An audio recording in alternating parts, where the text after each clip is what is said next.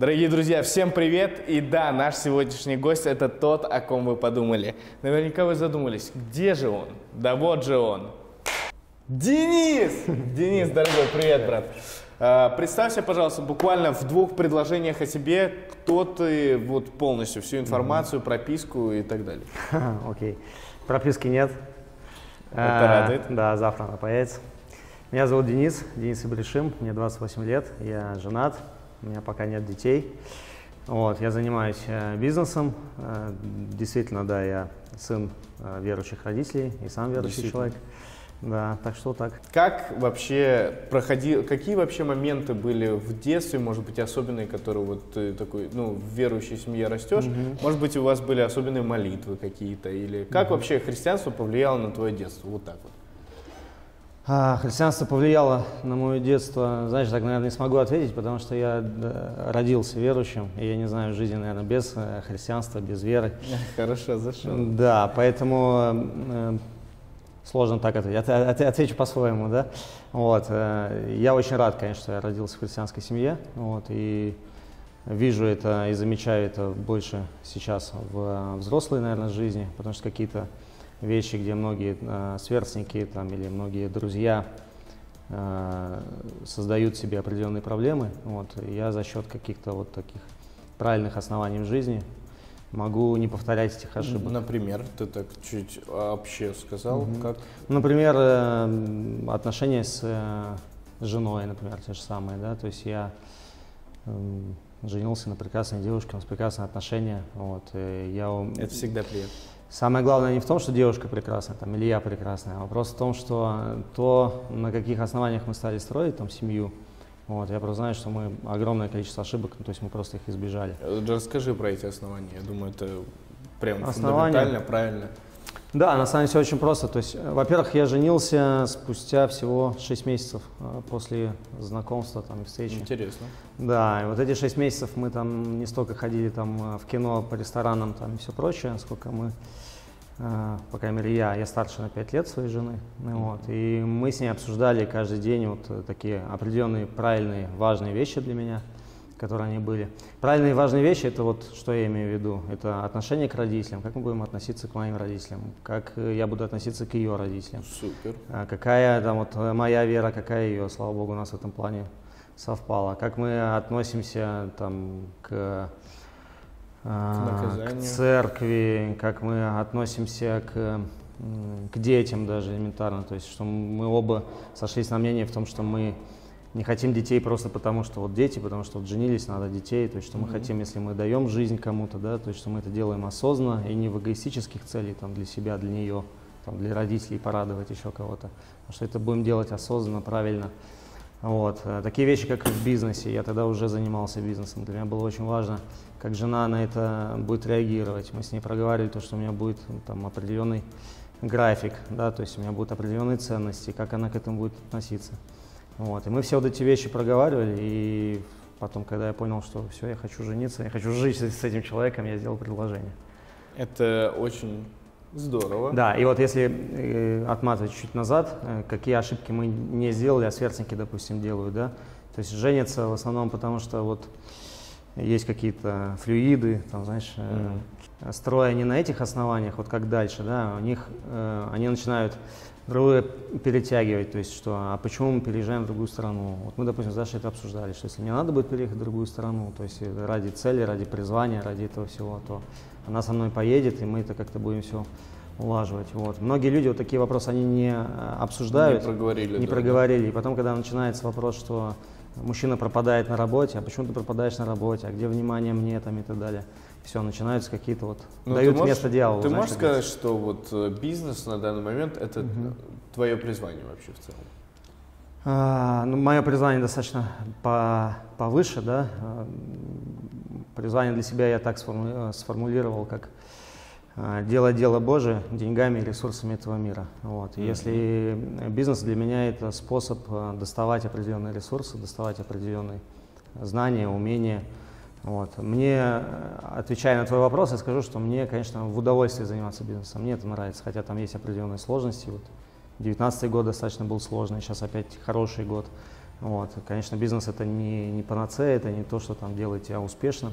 Нет, к бизнесу надо быть прям максимально готовым к всем тем неудачам, которые могут быть, потому что они точно будут. И вот у меня там случались и неудачи, и какие-то и удачи. Вот э, как бизнесмен, mm-hmm. наверняка нас смотрят э, много ребят, которые хотят стать бизнесменами. Mm-hmm. Ты бы их отговорил или наоборот, ну, как бы сподвиг, чтобы они mm-hmm. тоже становились? И какие ты можешь дать в этом смысле советы? Да, я так скажу, что, ребята, бизнес это не, это немного зарабатывать денег, ездить на крутых машинах и быть в окружении каких-то моделей.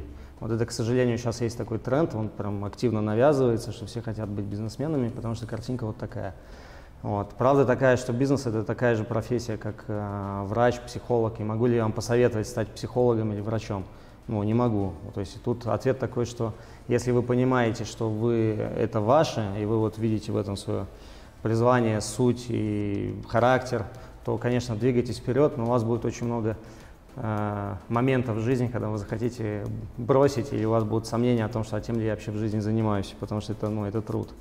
Вот. Поэтому если вы чувствуете, что это вот ваше призвание, это вот ваш, э, ваше такое вот и хобби в том числе, то тогда, конечно, вперед у вас все получится. Вот тут хотел уточнить момент. Смотри, например, э, я, я знаю, что многие предприниматели дают mm-hmm. совет не сдаваться, mm-hmm. идти вперед, продолжать, да, несмотря на падение. А, как быть человеку, например, если угу. он, ну, как бы не уверен, призвание ли угу, его да, бизнес, угу. он начал уже что-то делать, а, и, ну, как бы, ну, все же говорят, не останавливайся, да. и как бы, вот как найти эту грань, когда ну, угу. ты понимаешь, что это тебе нужно остановиться, или, угу. или, ну, как бы не точно? Да, да, да. Слушай, очень классный вопрос. Очень классный вопрос, потому что у меня этот же а, вопрос был в 2019 году. У меня были достаточно сложные э, ситуации. У меня завод, 200 человек работало. Вот, и была такая ситуация на грани банкротства, прям вот у нас там и прокуратура к нам приезжала, Следственный комитет. Родственники, друзья говорили, что слушай, ну, типа, надо закрывать бизнес и идти делать какой-то там новый, типа, у тебя там еще много чего получится, там себя найти там и так далее.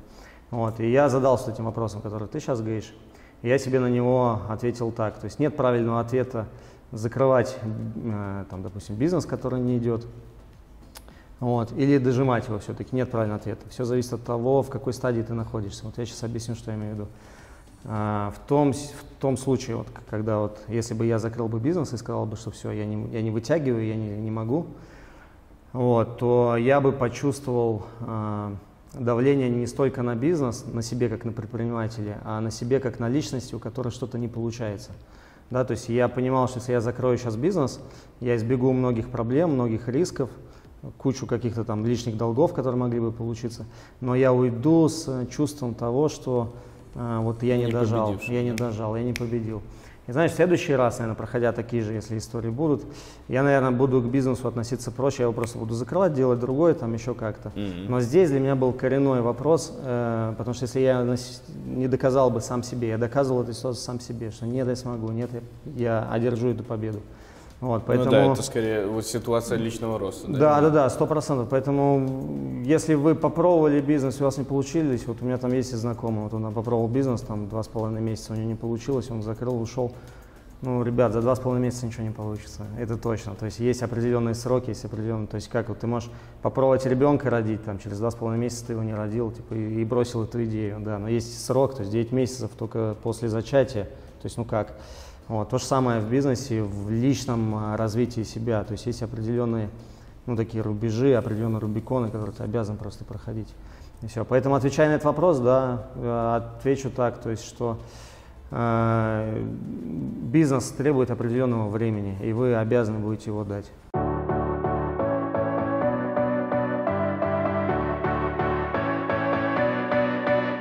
Буквально еще несколько вопросов, да, прежде конечно. чем отпущу тебя. А, какой, вот, может быть, главный совет тебе передал отец угу. и какой главный совет вот мать? Может быть, какую мысль они доносили до тебя, вот, может быть, чувство mm какое-то, что, как бы, какую роль они играли вот в твоей жизни и отец, и мать? mm Да, начну с отца тогда, наверное. Вот. Я рос в такой патриархальной семье, то есть у нас mm папа это вот глава семьи в чистом виде. Я, кстати, считаю это правильным. Вот, и мне повезло родиться в такой семье. А, Папа больше, да, обучал вот именно вещам таким, то есть ты как мужчина, то есть ты должен брать на себя ответственность, ты должен э, отвечать там за свои слова, за свои поступки, вот, должен уметь защищать там свою семью, то есть и вот все такое какое-то мужское такое начало, я, конечно, взял его э, у папы. Смелость, э, идти на риск, э, делать то, что другие сейчас не делают, потому что просто, то есть ты вот, ты как мужчина, и он меня еще часто говорил, у нас э, в семье четыре ребенка, двое приемных еще, вот, у нас э, два сына, две дочки у него получается, mm-hmm. да, и приемные также, сын и дочка. Вот, и он нас именно учил всегда так, что вот э, вы парни, вы не просто как бы вот там ответственны там за себя или там за будущих жен, вы ответственны вот за движение рода, то есть вот за, за семью, которая вот там не вы ее начали, не вам ее заканчивать. Uh-huh. Вот, и, соответственно, такой вот груз ответственности, груз такого вот мужского подхода это от папы. А от мамы больше вот такие качества, как вот уметь находить э, себя, слышать себя, то есть э, уметь уделять себе внимание, уметь э, ну, работать, да, с собой, своими сильными, слабыми сторонами. Вот, чуткости к людям, к вне, ну, то есть к каким-то людям, которые вокруг тебя. Вот. У меня мама максимально такая женственная, папа mm-hmm. максимально такой вот мужское, поэтому это очень на самом деле это брал. необычно, как э, ну как бы не часто вообще люди берут э, в, семью себе еще детей. Mm-hmm. А как ты с точки зрения вообще вот э, ребенка, mm-hmm. э, как как ты это проходил, как mm-hmm. тебе свыкаться было с этим? Потому что ну, некоторые семьи это проходят. Угу. А, как, как ты с этим проходил? А, что... Ну, честно сказать, мне сейчас так уже сложно, наверное, проанализировать, потому что это было вот э, это настолько давно, и мы настолько все долго э, жили в таком, как бы, да, в, в такой семье. Вот. Ну, Поэтому я не могу сейчас вспомнить. семья, да, вы уже. Да, мы все семья, у всех уже тоже там семьи, дети. То есть вот мне очень сложно проанализировать, были ли у меня там какие-то чувства ревности там, или нехватки внимания родителей. Поэтому мне кажется, вот как будто бы не было, потому что мы как-то вот действительно жили одной большой семьей. И, кстати, самое интересное, что э, у нас не была какая-то обеспеченная там суперсемья, то есть у нас там папа, кстати, тоже как предприниматель, у него там были достаточно большие долги, проблемы, вот, и мы не жили в каком-то супер достатке, но нам как будто все как-то хватало каким-то чудом образом. По вот. Библии просто. Да, да, да. Ну, на самом деле, очень интересная кстати, тоже история. Скажу, что папа как-то ехал с Белоруссии на фуре сам, и нечем было нас там всех кормить. У него прям вообще там очень такие тяжелые ситуации были в жизни. Вот, и он помолился и говорит, ну как я буду кормить вот этих детей? Вот, там шесть детей, считай, мама еще, и еще у нас постоянно какие-то гости. У нас гостей было постоянно всегда. И он не знал, как будет кормить. Его, в общем, на деньги кинули там, где должен был заработать. Вот он возвращался такой уставший. Вот, он помолился, и Бог ему говорит, сейчас будут пробегать два зайца, вот они, они твои на трассе. Вот, и он, значит, да, он водитель опытный был, он сбивает одного зайца, значит, э, колесом э, передним, вот, а второго цепляет вот э, этим прицепом, значит. Вот, и достает их, кидает в фургон, приезжает домой. Вот, а у мамы оказывается... А, и, кстати, очень интересно, он где-то ехал по пути тоже. И какая-то женщина, которая продает, он хотел купить картошки, она ему сказала, что вот у меня типа на сердце, вот вам, значит, дать вот эту картошку. Wow. Вот, он все это привозит домой, мама все это дело готовит, мы все едим, у нас там есть еще на неделю. Он всегда позаботится. Да, да, да, и таких историй, то есть, да, это очень много. И это, кстати, вообще понятно, что вот обеспечитель у нас, ну, Бог, не, не бизнес, не Аминь. работа, не там, не знаю, ни директор, ни начальник, никто, то есть обеспечитель Бог. Супер. А, Денис, спасибо тебе. Mm-hmm. Буквально, наверное, один, э, ну вот твой совет, да, да, который просто вот э, человек видит тебя одну минуту, буквально вот переключает mm-hmm. канал. Что бы ты сказал человеку, если вот у него осталась одна секунда, там, mm-hmm. просто вот смотрит на тебя? Самый главный, в общем, совет от тебя. Я тебе даю сейчас такой совет, который дал бы и себе, и каждому. Первое, никогда не сдавайся, никогда не сдавайся. Ты сможешь все преодолеть, ты сможешь все победить. На самом деле в тебе гораздо больше силы, чем тебе кажется и чем вот люди в тебе видят. А второй момент, будь всегда собой.